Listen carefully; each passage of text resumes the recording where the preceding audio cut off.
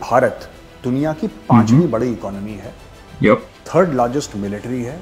और हाँ। दुनिया भर की भारत मदद करता है। तो Bharat United Nation Security Council में क्यों ना हो?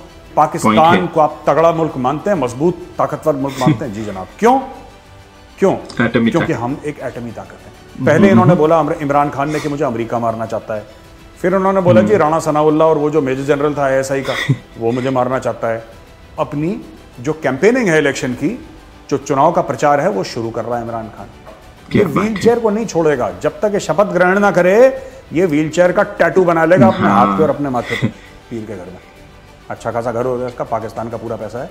उस घर को तोड़ के एक नया घर बनाओ और पूरी हम्म। पुलिस और सीआरपीएफ की सिक्योरिटी के साथ एक कश्मीरी पंडित फैमिली को सेटल कर दो.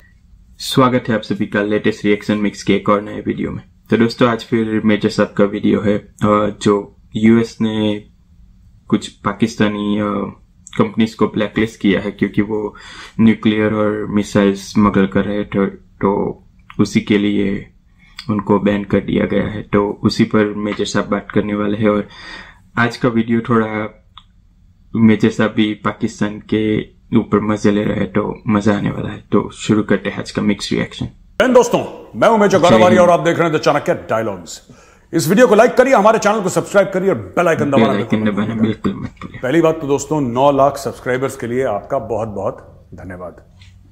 आप लोगों का आशीर्वाद है कि ये चैनल बढ़ रहा है लोग इसको देख रहे हैं। हाँ और मेरी आपसे गुजारिश है ये विनती है कि आशीर्वाद बना रहे। बहुत बहुत धन्यवाद आपका। एक मिलियन करवा दीजिए। दोस्तों टोनी ब्लेयर जो you know former prime minister थे यूके के उन्होंने एक बात बोली और बड़ी इंटरेस्टिंग बात है। क्या टोनी ब्लेयर डिप्लोमेसी में एक बहुत बड़ा नाम है। फॉर्मर प्राइम मिनिस्टर तो थे यूके के लेकिन बड़ी जानी मानी शख्सियत हैं बड़ी इज़्ज़त से इनका नाम लिया जाता है। टोनी ब्लेयर ने बोला कि the trouble with the UN security council reform which of course should happen is absurd to think that India is not a permanent member but you could say that about other countries as well but leave aside that because the problem always with reforming the UN security council is how do you get consensus देखिए बहुत बड़ी बात है ये। ये indirectly क्या बोल रहे हैं? इंडिया को होना चाहिए। इसमें इशू क्या है मैं आपको बताता हूँ। इसमें इशू ये है कि भारत दुनिया की पांचवी बड़ी इकोनॉमी है। वो तो है। थर्ड लार्जेस्ट मिलिट्री है। और दुनिया भर की भारत मदद करता है तो Bharat United Nation Security Council में क्यों ना हो? होना चाहिए तो हक बनता है। हम्म। और भी ऐसे देश हैं जिनका हक बनता है। हाँ। और भी ऐसे देश हैं जिनका हक बनता है। मेरे हिसाब से ब्राज़ील का हक बनता है यूनाइटेड नेशन सिक्योरिटी काउंसिल का जर्मनी का हक बनता है हाँ, यूनाइटेड नेशन सिक्योरिटी काउंसिल में जाने का। लेकिन क्या है कि जब तक कंसेंसस नहीं होगा पाँच मेंबर हैं इसके परमानेंट हाँ। Five members China America Russia England and France अब चार तो भारत के पक्ष में है। हाँ। चाइना इसको अड़ंगा डालता है इन चीज़ों तो जब तक ये पाँचों हाँ नहीं बोलेंगे तब तक ये मामला आगे नहीं बढ़ेगा। तो टोनी ब्लेयर का यही कहना है कि यार how can you say no to India right how can you say आप इट्स एब्सर्ड ये तो बड़ी अजीब गरीब सी बात है यार। हाँ। ये अजीब गरीब बात है कि Second इंडिया उसका मेंबर नहीं लोग कह रहे हैं। अब देखिए कन्विंस करके तो चाइना मानेगा नहीं। नहीं मानने तो भारत को शायद कुछ ऐसा कदम उठाना पड़े कि जहाँ पे यूनाइटेड नेशन सिक्योरिटी काउंसिल का भारत मेंबर बन जाए because our membership of this institution is due for almost a decade plus एक और मैं बात बताना चाहता हूँ ये जो खुला है ना पूरा यूएन और यूएन सिक्योरिटी काउंसिल वगैरह ये 1945 का मामला है सेकंड वर्ल्ड वॉर का मामला है। तब से कुछ तो हुआ नहीं सेकंड वर्ल्ड वॉर को कितना टाइम हो गया आप बताओ? सतहत्तर अठहत्तर साल हो गए सेकंड वर्ल्ड वॉर को। हाँ। 77 78 इयर्स तब से इसमें वो रिफॉर्म नहीं लाया गया इसके जो इसका स्केलेटन है जो इसका बेसिक स्ट्रक्चर है। रियलिटीज आ चुकी हैं। भारत 1947 में भारत एक बहुत न्यायिक गरीब मुल्क था। बहुत गरीब मुल्क था क्योंकि अंग्रेज़ सारा चोरी करके ले गए थे बहुत गरीब मुल्क था भारत। आज सिचुएशन टोटली डिफरेंट है। हमारी फौज उस समय बिल्कुल तगड़ी थी इसमें कोई डाउट नहीं है लेकिन आज बिल्कुल एक नए रूप में उभर कर आई है। उस समय भारत दुनिया से चीज़ें माँगता था कि भाई ये हमें दे दो सस्ते दामों में ये दे दो ये सब। फैमिन में लोग मरते थे। आज की तारीख में भारत उल्टा लोगों को दे रहा है। है। भारत मेडिसिन सप्लाई कर रहा है भारत फ़ूड ग्रेन कर रहा है Bharat you know it's it's giving aid it's giving soft loans vaccine भी दी developmental assistance to the world तो दुनिया बहुत बदल गई है लेकिन United Nation Security Council change नहीं हुआ। वो वही पुराने दकियानुसी तरीके से चल रहा है तो उसमें चेंज करना बहुत ज़रूरी है चेंज आना बहुत ज़रूरी है दोस्तों। बिल्कुल सही बात है ये तो। दकियानुसी से याद आया? पाकिस्तान। पाकिस्तान अच्छा। An unspecified number of Pakistani companies have been added to the list of 14 entities put on a US trade blacklist No. for their alleged involvement in missile and nuclear activities. Naughty boy. क्या। बड़े naughty boy हैं। फिर इन्होंने वही काम शुरू कर दिया। मैं बता रहा हूँ एफ़ ए टी एफ़ की ग्रे लिस्ट से आपने पाकिस्तान को निकाला है और पाकिस्तान फिर से अपनी पुरानी हरकतों पे ये बाज नहीं आने वाला। वही हरकतें मिसाइल टेक्नोलॉजी की चोरी यानी कि पैसा लेके किसी और को देना ये बेच रहे हैं। मैं तो बता रहा हूँ ना इनके पास पैसे का इतना डेस्परेशन है पाकिस्तान में कि यही करेंगे। करेंगे। आप किसी भी पाकिस्तानी से पूछ लीजिए। छोड़ दीजिए इनके जो आर्मी क्या कर रही है इनके बड़े बड़े पॉलिटिशियंस क्या कर रहे हैं छोड़ दीजिए। किसी भी आम पाकिस्तानी से ये पूछिए। हाँ। किसी भी आम पाकिस्तान सड़क चलता जो रेड़ी चलाता है जो किसी दुकान में काम करता है जिसका छोटा मोटा बिज़नेस है या फिर वकील भी है पढ़ा लिखा या फिर डॉक्टर है या फिर कोई एक्स वाई जेड है कोई एक्स वाई जेड आप उससे सिर्फ़ एक सवाल पूछिए कि पाकिस्तान को आप तगड़ा मुल्क मानते हैं मज़बूत ताकतवर मुल्क मानते हैं? जी जनाब क्यों हाँ। क्यों? क्योंकि हम एक एटमी ताकत है। हर एक पाकिस्तानी को जैसे तोता रट लेता है ना तोता रट लेता है। हर एक पाकिस्तानी को एक चीज़ रटी है कि भाई हम इसलिए तगड़े क्योंकि हमारे पास एटम बम है। यही चूरन चल ये लोग ये बात नहीं समझते कि इनके पास एटम बम के अलावा कुछ नहीं है और अब वही एटम बम इनके गले का पत्थर बन गया है। बिल्कुल सही गले में घंटी जैसे होती है ना या बड़ा सा भारी पत्थर होता है गले में कि आदमी उसको लेकर ना तैर पाए ना चल पाए यही पाकिस्तान के साथ हो गया है। अब पाकिस्तान ये कह रहे हैं ब्लैक लिस्ट में डाल दिया पकड़े गए। ये लोग न्यूक्लियर टेक्नोलॉजी और मिसाइल। टेक्नोलॉजी ये लोग बेच रहे हैं ब्लैक मार्केट में। और उनकी कंपनीज़ को ये सरकारी कंपनीज़ हैं। सरकारी कंपनी इनको ब्लैक लिस्ट देखिए सरकारी कंपनी है। जो एक तो वेपन ग्रेड होता है प्लूटोनियम एक होता है non weapon grade non weapon grade दाएँ बाएँ होता है दुनिया में राइट एनर्जी के लिए भी हो ये सकता होता है लेकिन वेपन ग्रेड प्लूटोनियम वो एक अलग लेवल की बात है। और उसके अलावा ये बात कर रहे हैं मिसाइल यानी कि डिलीवरी मैकेनिज्म एक तो होता है न्यूक्लियर वॉरहेड आपने बनाया। न्यूक्लियर वॉरहेड वो कैसे जाएगा? आपको या तो हवाई जहाज़ से आप डालेंगे उसको कहीं पे बॉम्ब करना होगा या आपको फिर किसी मिसाइल में फिट करना होगा कुछ तो आप करेंगे। कोई आपका डिलीवरी मैकेनिज्म होगा तो पाकिस्तानी दोनों में ब्लैक मार्केटिंग कर रहे हैं। न्यूक्लियर nuclear मटेरियल में भी ब्लैक। मार्केटिंग कर रहे हैं और मिसाइल टेक्नोलॉजी में ब्लैक मार्केटिंग कर रहे हैं। बेच रहे होंगे किसी को मैं बता रहा हूँ आपको। हंड्रेड परसेंट ये किसी ना किसी को बेच रहे हैं। इसीलिए इनको ब्लैक लिस्ट में डाला है। और जो एक आम पाकिस्तानी की शान है ना कि हमारे पास एटम बम है। हम्म हमारे पास बम है तुम्हारा बम बिक रहा है नीलाम हो रहा है तुम्हारा बम। ठीक है? ये Now. सब करेंगे। Imran Khan says ready to forgive attackers इसने इलेक्शन कैंपेन लॉन्च कर दिया इमरान खान ने और इमरान खान कहता है कि जिसने मुझ पर हमला कर, इसका हमला हुआ था ना इमरान खान के ऊपर? या। गुजरावाला के आसपास कहीं गुजरात वहाँ पे भी है पाकिस्तान में। उसके आसपास होगा। इसके ऊपर हमला हुआ था। इमरान खान ने बोला कि मैं माफ़ करने को तैयार हूँ जिन्होंने हमला करा। ओ खान साहब आप तो माफ़ करने को तैयार हैं वो लोग आपको माफ़ करने को तैयार हैं ये भी सोच लो एक बार। हाँ। क्योंकि हर समय आप गोल पोस्ट चेंज कर देते हैं। पहले इन्होंने बोला इमरान खान ने कि मुझे अमेरिका मारना चाहता है। फिर उन्होंने बोला जी राणा सनाउल्ला और वो जो मेजर जनरल था एएसआई का वो मुझे मारना चाहता है। फिर इन्होंने पता नहीं किसी तीसरी की फौज मुझे मारना चाहती है। सभी इसको मारना चाहते हैं। इसको सभी मारना चाहते हैं। हैं इमरान खान को। हाँ। पता नहीं क्या इसमें कौन से हीरे जड़े हुए इमरान खान के अंदर कौन सा सोना इसमें तराशा हुआ है कि इमरान खान को सब मारना चाहते हैं और इससे हीरे सोने छीनना चाहते हैं। ये इसका दिमाग है। अच्छा अब इमरान खान ही तो एक लीडर है उनके पास। जो कैंपेनिंग है इलेक्शन की जो चुनाव का प्रचार है वो शुरू कर रहा है इमरान खान। अभी तक इमरान खान अपने घर के अंदर दुबक के बैठा हुआ था प्लास्टर प्लूस्टर लगा के कि मैं चल नहीं सकता व्हील चेयर में जा रहा है हर जगह। अब मैं बता रहा हूँ ये बंदा। दौड़ेगा आप इसको दौड़ते हुए देखिएगा अगले एक महीने में। अब इलेक्शन सर पे है ना ये हर जगह जाएगा रैलियाँ करेगा लेकिन वही व्हील चेयर व्हील चेयर होगी इसकी फिर व्हील चेयर से खड़ा होगा। ये व्हील चेयर को नहीं छोड़ेगा जब तक ये शपथ ग्रहण ना करे ये व्हील चेयर का टैटू बना लेगा अपने हाथ पे और अपने माथे पे। चुनाव चिन्ह व्हील चेयर ये व्हील चेयर को नहीं छोड़ेगा। भाई साहब पाकिस्तानी जैसा विक्टिम कार्ड कोई नहीं खेल सकता मैं आपको बता रहा हूँ। वो तो सही है। पैलेस्टीनियंस भी बच्चे हैं उसके सामने Palestinians play the victim card हम्म, लेकिन nobody plays the victim card like the Pakistanis nobody plays the victim card like the सभी में।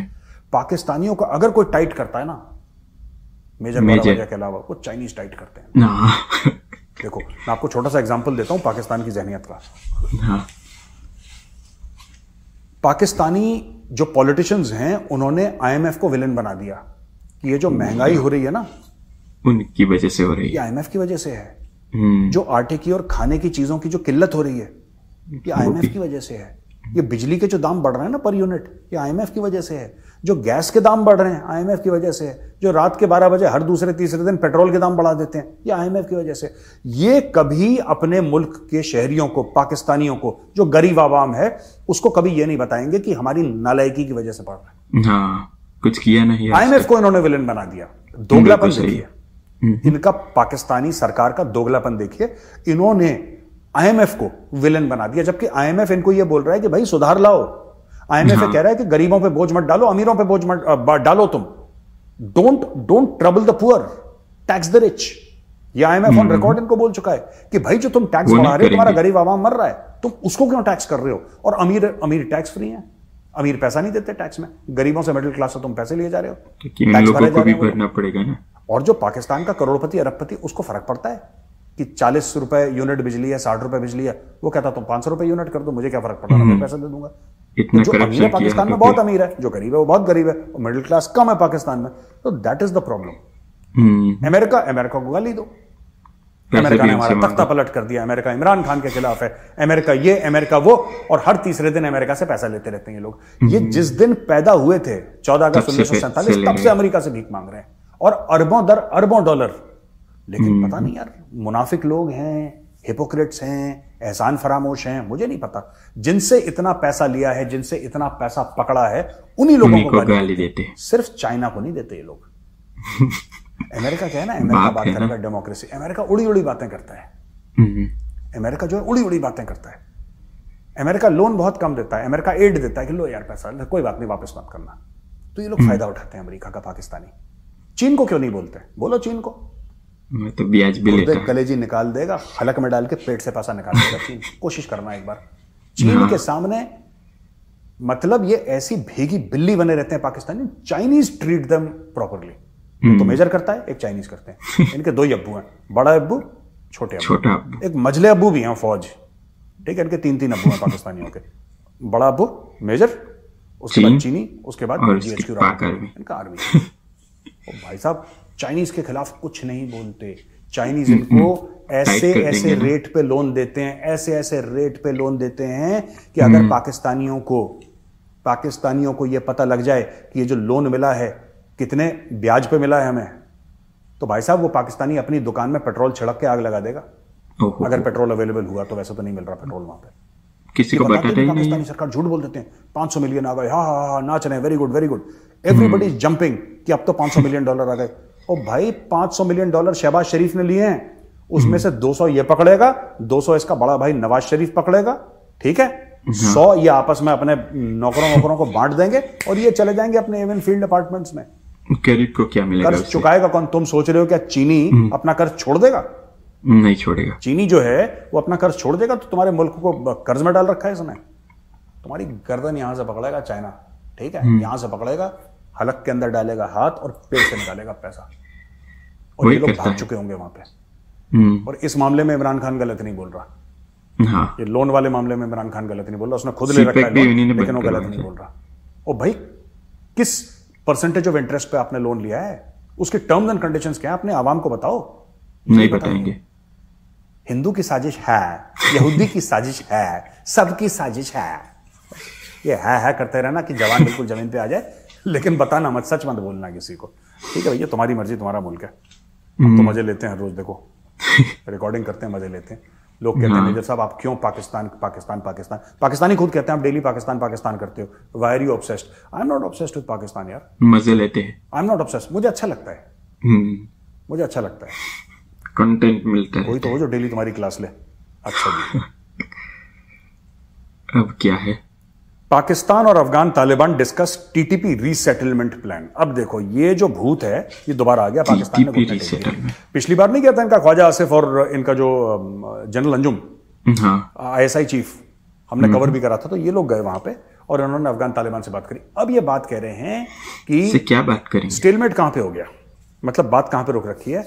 पाकिस्तान ये कह रहा है कि आप तहरीक तालिबान पाकिस्तान वालों को जो टीटीपी के फाइटर्स हैं वो तो आपके भाई हैं। उन्होंने बैत कर रखा है आपसे। ओथ ऑफ़ लॉयल्टी है।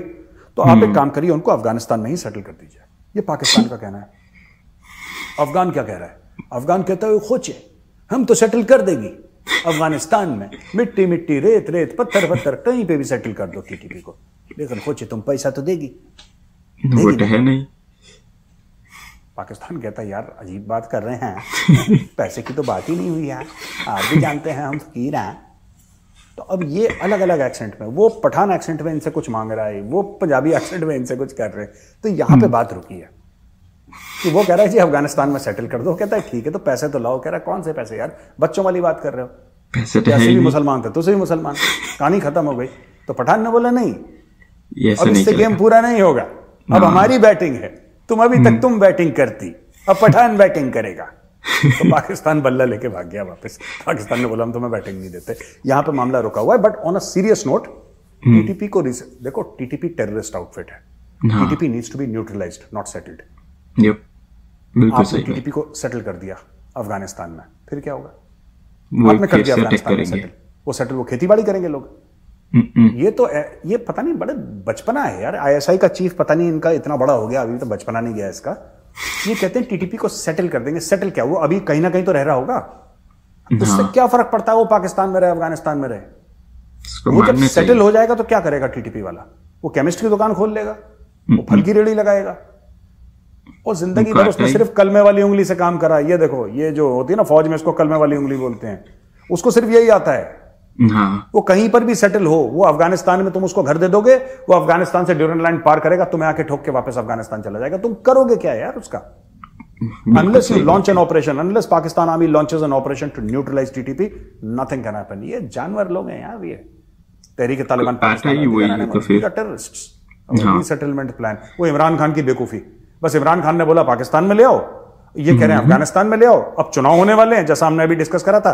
इमरान खान दोबारा प्राइम मिनिस्टर बनेगा। Hundred and ten percent he will become the prime minister of Pakistan ठीक है? जब तक आर्मी चीफ ये ना बोले कि नहीं ये तो बिल्कुल ही नालायक इसको हटाओ। अगर किसी ने कुछ इंटरफेरेंस नहीं करा और आर्मी न्यूट्रल रही इमरान खान बन जाएगा प्राइम मिनिस्टर इमरान खान फिर बोलेगा। हमारे लिए तो अच्छा है। इंडिया के लिए। पाकिस्तान में मेरे भाई हैं वो। हम्म। बस कहानी खत्म हो गई।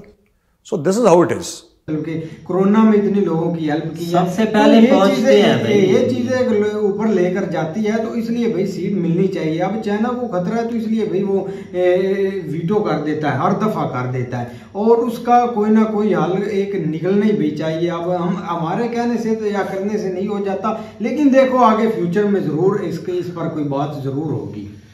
तो दोस्तों ये थी हमारी आज की वीडियो सबसे पहले तो वो जो मेजर साहब यूएन की बात कर रहे थे तो बिल्कुल सही है जो यूके के फॉर्मर प्राइम मिनिस्टर ने बोला है कि अगर इंडिया यूएन में इतने सालों के बाद भी उनको परमानेंट सीट या वीटो नहीं मिल रहा है तो ये तो यूएन पे सवाल खड़ा करता है, क्योंकि जैसे मेजर साहब ने कहा फिफ्थ लार्जेस्ट इकोनॉमी है थर्ड लार्जेस्ट आर्मी है सेकंड लार्जेस्ट पॉपुलेशन है, हमारा वन सात में से एक आदमी इंडियन है तो उसको ही रिप्रेजेंटेशन नहीं मिल रही। यूएन जैसे फोरम पे तो ये तो के लिए सोचने वाली बात है।